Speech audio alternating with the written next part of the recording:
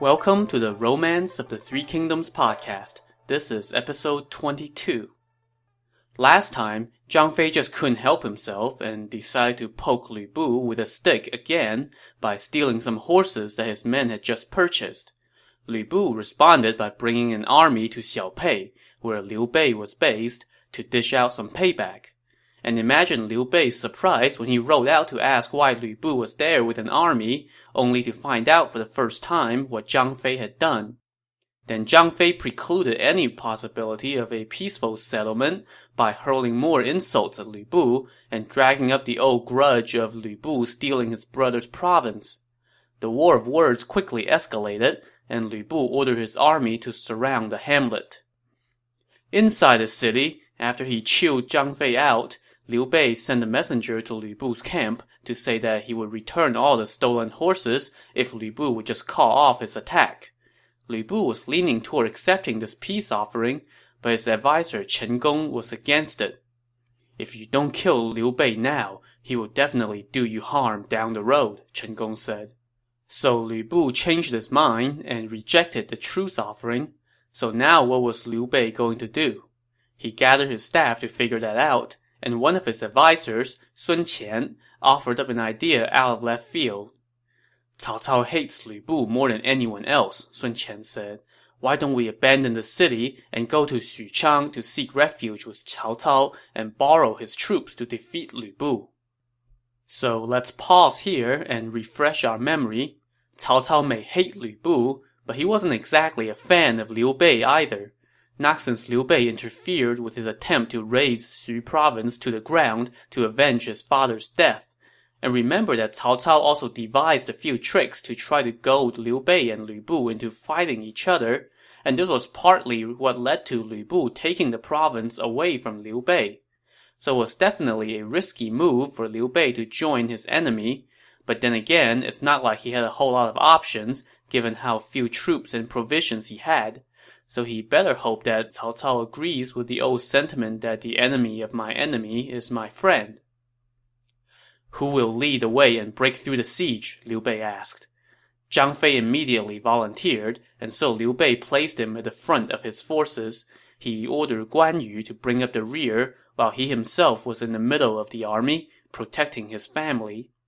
Around eleven o'clock that night, under the light of the moon, they stormed out of the north gate, Two of Lu Bu's officers, Song Xian and Wei Xu, blocked their path, but they were fought off by Zhang Fei.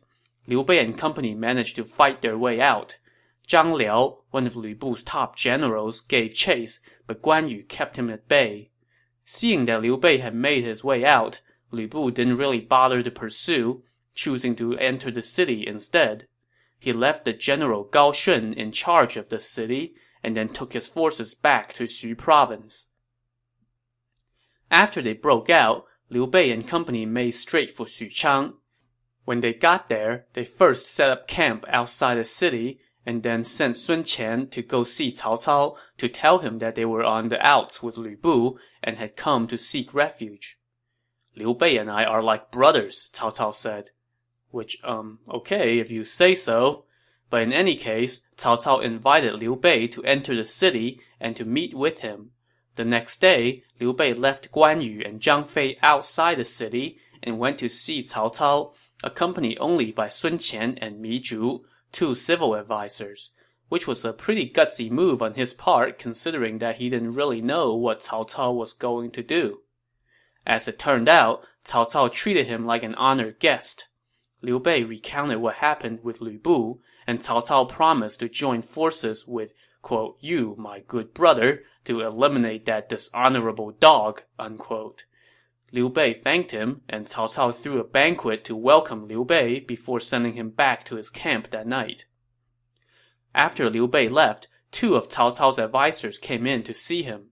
First, it was Xun Yu, who told Cao Cao, Liu Bei is a hero of the times. If you don't eliminate him now, he will be a thorn in your side later.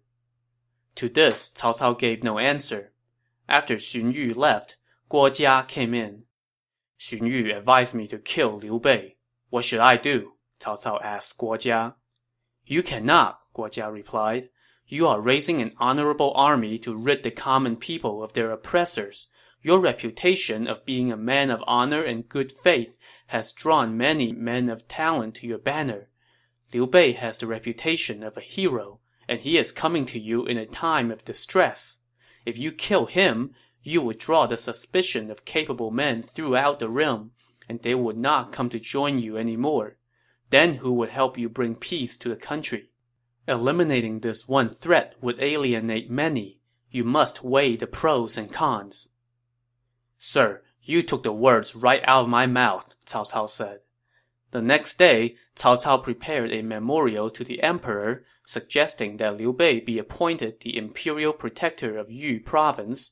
Another of his advisers, Cheng Yu, suggested that he do away with Liu Bei sooner than later. But Cao Cao rejected this. We need capable men right now, Cao Cao said. We cannot alienate the country by killing one man. On this point, Guo Jia and I are of one mind. So Cao Cao gave 3,000 troops and 10,000 bushels of grain to Liu Bei and sent him to Yu province, where he was to advance on Xiaopei, gather his former soldiers who had scattered when he fled, and then attack Lu Bu. After taking his post, Liu Bei sent word to Cao Cao to coordinate when they were going to rendezvous and attack Lu Bu.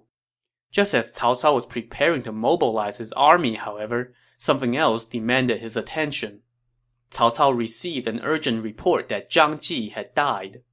If you need a refresher, Zhang Ji was one of Dong Zhuo's lieutenants, and he was pretty much the last one of that bunch still standing after Li Jue and Guo Si's fall from power.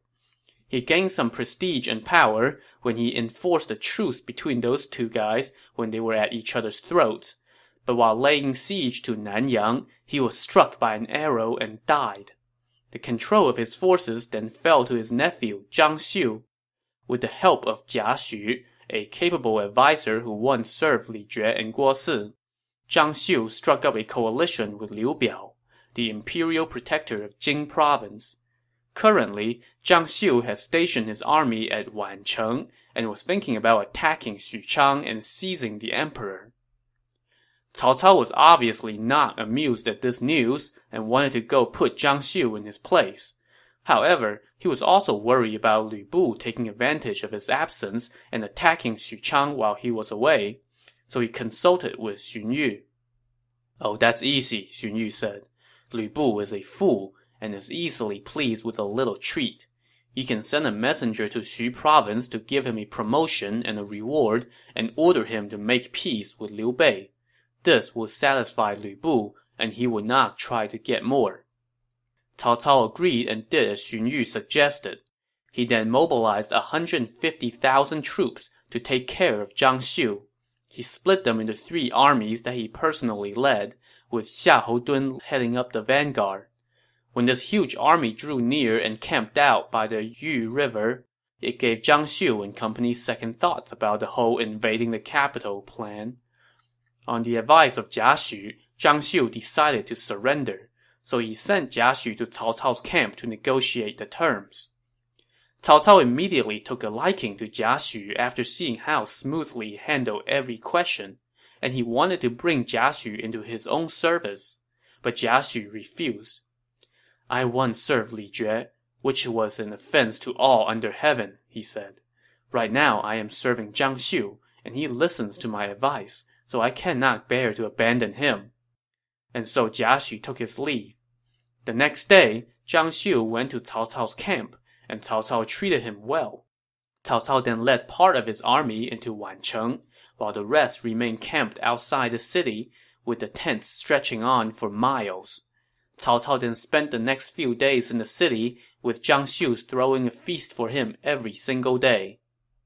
One day, after another one of these feasts, Cao Cao retired to his quarters drunk. He asked his attendants, Are there any courtesans in this city? Cao Cao's nephew, Cao Anmin, caught his drift and told him in private, Last night I saw a rare beauty near the local inn. I asked around and found out that she was the wife of Zhang Xiu's uncle, Zhang Ji. Cao Cao then ordered his nephew to lead fifty soldiers to go fetch the lady. They returned soon thereafter, and the woman was indeed a delight to behold. When Cao Cao asked for her name, she answered that she was Lady Zhou, the widow of Zhang Ji. Does your ladyship know who I am? Cao Cao asked. I have long heard of your great name, and it is my great fortune to be in your presence, she answered.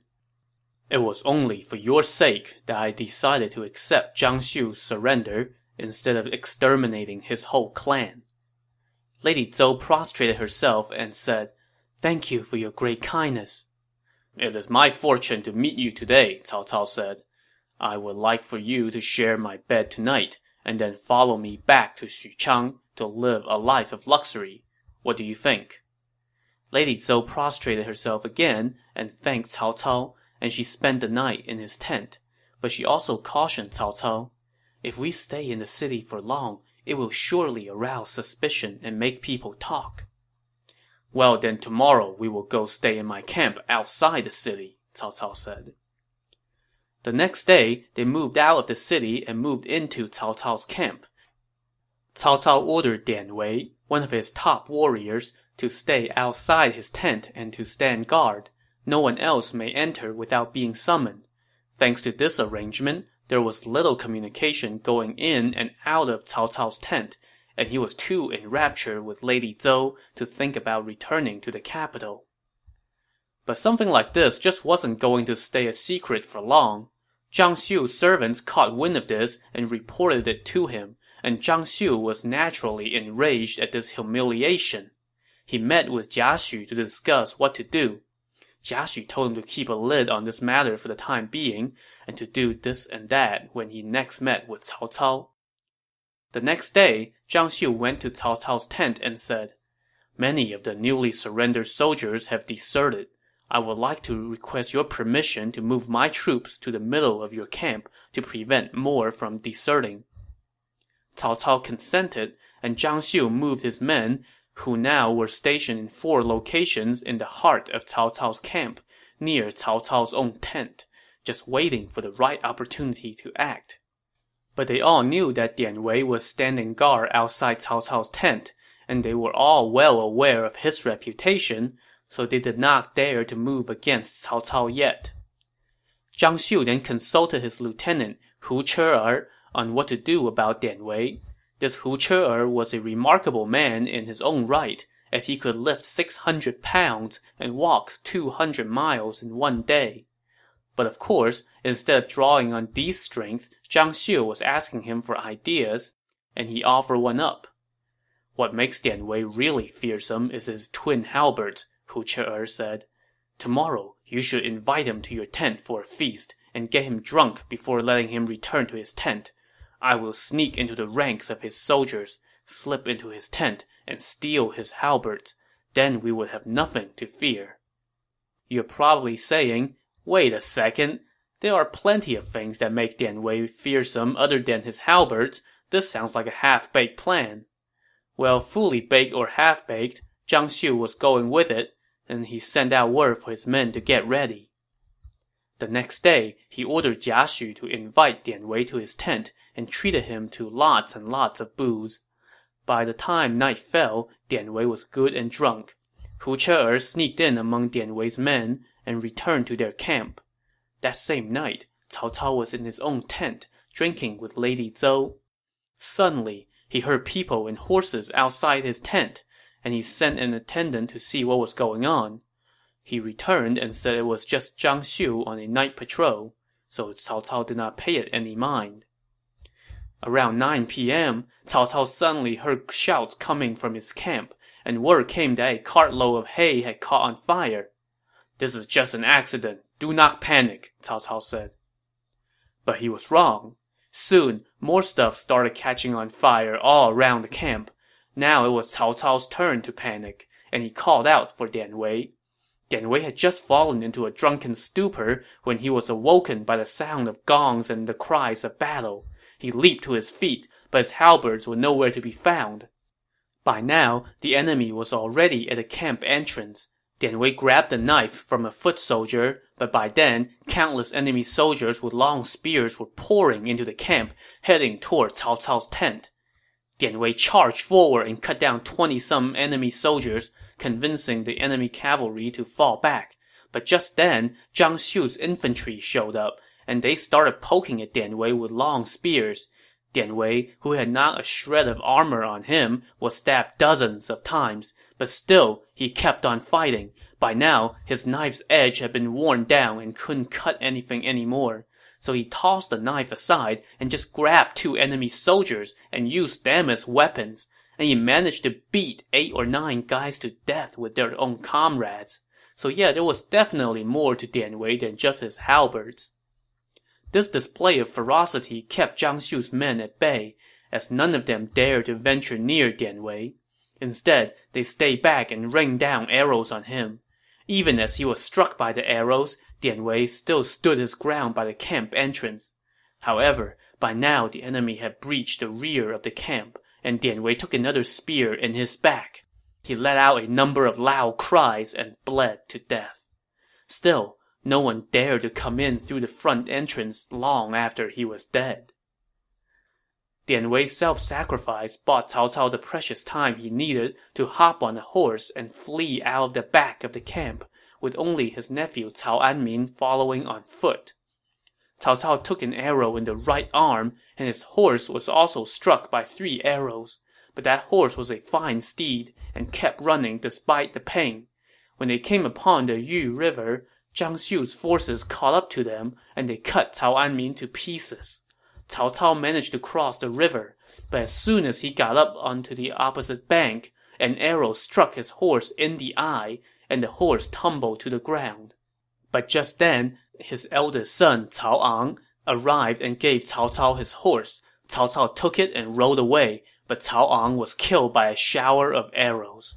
Cao Cao managed to escape the immediate danger, and he met up with scattered remnants of his forces along the way and began to regroup.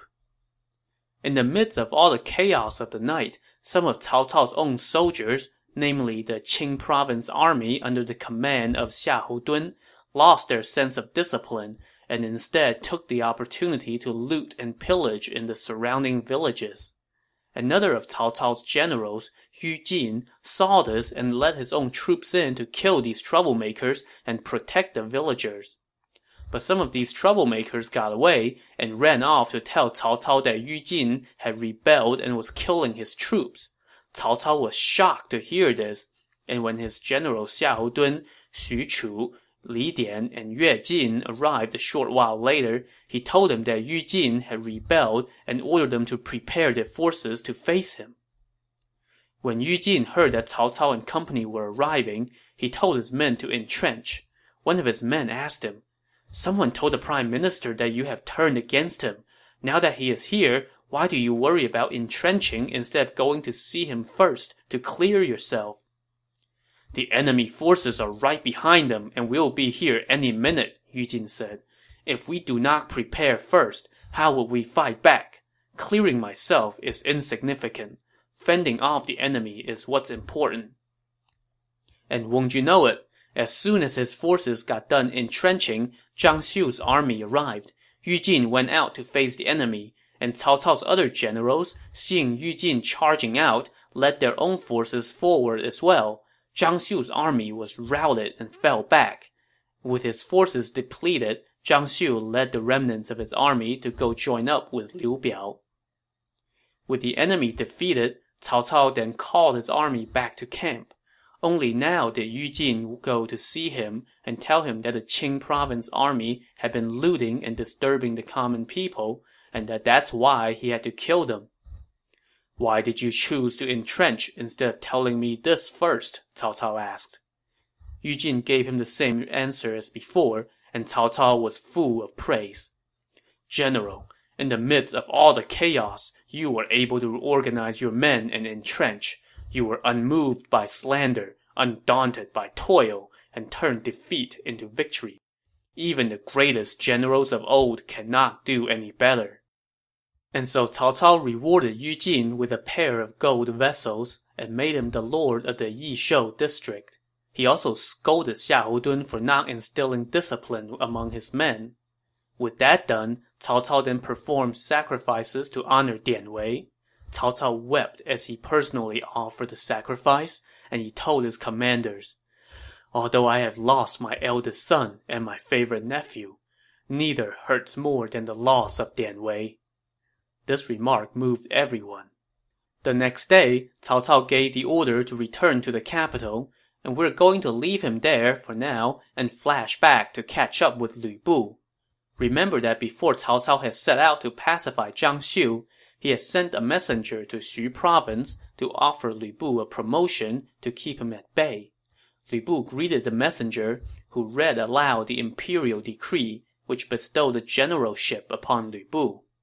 The messenger then gave him a personal letter from Cao Cao and conveyed to him just how much Cao Cao respected and admired him. All of this made Lu Bu very happy. Just then, a messenger arrived from Yuan Shu, and Lu Bu summoned him. This messenger said, My lord is going to become emperor soon, at which time he will name his successor, so he wishes for you to send your daughter to Huainan soon so his son can marry her. How dare that rebel! Lu Bu said angrily. He ordered his men to execute Yuan Shu's messenger. He then put Han Yin, the official that Yuan Shu had sent to play matchmaker, in chains. He then ordered one of his officials, Chen Deng, to accompany Cao Cao's messenger back to the capital, along with a thank you note and Han Yin. In addition to saying thanks, Lu Bu's letter to Cao Cao also included a request to be named the imperial protector of Xu province. When Cao Cao got the letter and learned that Lu Bu had refused Yuan Shu's marriage proposal, he was delighted. He then had Han Yin beheaded in public. Chen Deng then said to Cao Cao in private, Lu Bu is like a jackal. He is all brawn and no brain, and his loyalty is fickle it is best to eliminate him sooner rather than later. I have long known that he has the heart of a wolf and cannot be kept for long, Cao Cao replied. You and your father know him better than anyone. I will depend on your counsel in this matter. When your excellency is ready to make a move, I will be your inside man, Chen Deng said. Cao Cao then named Chen Deng the governor of Guangling and rewarded his father with a stipend when Chen Deng was about to head back to Xu province, Cao Cao took his hand and said, The affairs of the East are now in your hands. Chen Deng nodded and took his leave. When he got back to Xu province, he went to see Lu Bu, and Lu Bu asked him how things went in the capital. My father received a stipend, and I was appointed a governor, Chen Deng answered. Lu Bu was outraged. Instead of requesting the imperial protectorship for me, you were more worried about your own gains. Your father advised me to join with Cao Cao and refuse Yuan Shu's marriage proposal, but now I have not been granted any of my requests, while you two have reaped the rewards.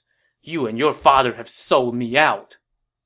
At this, Lu Bu pulled out his sword and was just about to kill Chen Deng, but Chen Deng simply laughed. General, you have misunderstood. How so? When I saw the prime minister, I told him that keeping you is like keeping a tiger. You must feed the tiger enough meat, or it would start to eat people. Cao Cao laughed and said, Not so. My treatment of General Lu is like keeping an eagle.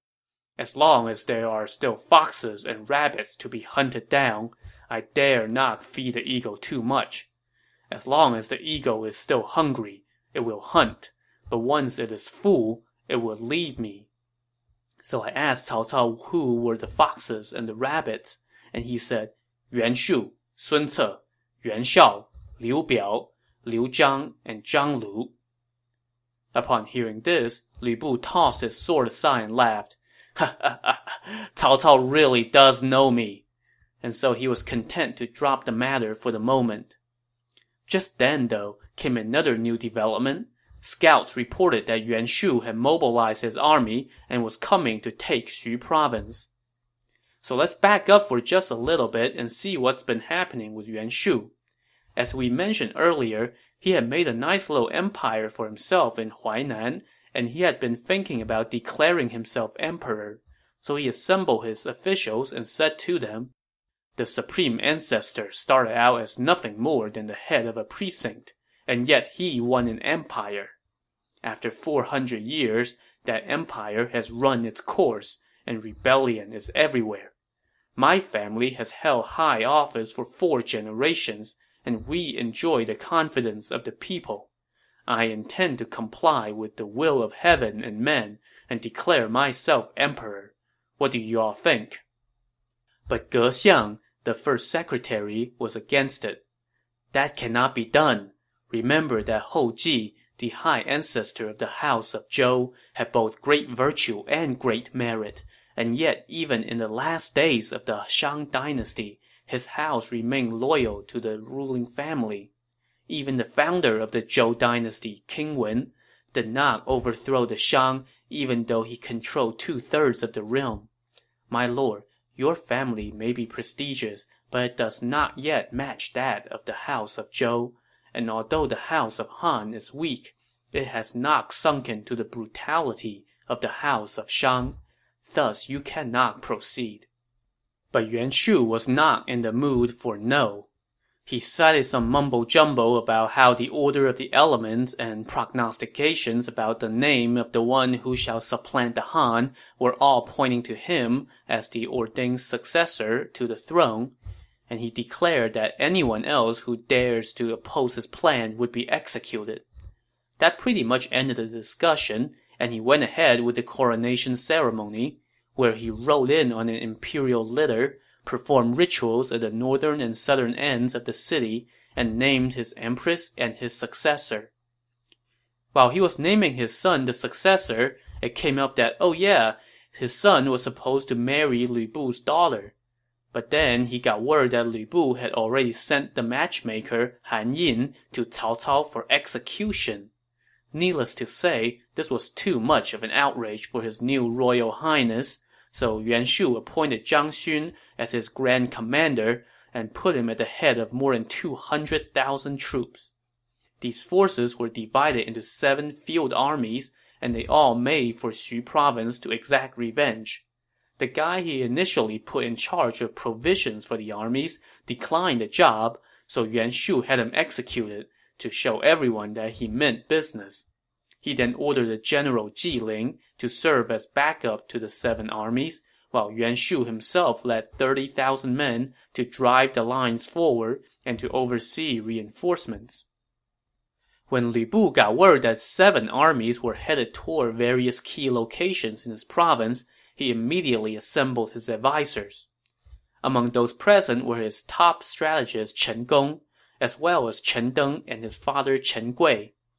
Even though these three guys share the same last name, Chen Gong was not related to Chen Deng or Chen Gui. In fact, Chen Gong hated the other two. The calamity that's heading toward Xu province is all the doing of Chen Gui and his son, Chen Gong told Lu Bu. Their advice was designed to curry favor with the court and earn rewards for themselves, and now you are stuck with the consequences. You should execute them both and send their heads to Yuan Shu. His armies would naturally retreat. Hearing this, Lu Bu ordered that Chen Gui and Chen Deng be arrested, but Chen Deng once again laughed out loud. What are you afraid of? he said. To me, these seven armies are but seven piles of rotten straws and are of no concern. If you have an idea that can defeat the enemy, I will spare your lives, Lu Bu said. If you would follow my advice, I can guarantee that Xu province will be safe, Chen Deng said. Tell me your idea, said Lu Bu. Yuan Shu may have a lot of troops, but they are a motley crew with no mutual trust. If we defend our cities and stage surprise raids, we will defeat them easily. I also have another idea that will not only guarantee our province's safety, but could also capture Yuan Shu. What is this idea? Lu Bu asked. Han Xian and Yang Feng, commanders at the heads of two of Yuan Shu's armies, used to be officials of the Han court. But they fled out of fear of Cao Cao and only joined up with Yuan Shu because they had nowhere else to go. I wager that Yuan Shu must have treated them both with little respect, and they must be displeased with him. If you write a letter to convince them to join us and serve as our inside man, and then we add in support from Liu Bei, we will surely capture Yuan Shu. Hmm. then you must personally go to deliver the letters to Han Xian and Yang Feng, Lu Bu said to Chen Deng. And Chen Deng agreed, so Lu Bu sent messengers to Xuchang and Yu province to tell Cao Cao and Liu Bei of the plan. And then he ordered Chen Deng to lead a few riders to head to the path leading to Xiapi, where Han Xian and Yang Feng were headed. To see how well Chen Deng's words would go over with those two, tune in to the next episode of the Romance of the Three Kingdoms podcast. Thanks for listening.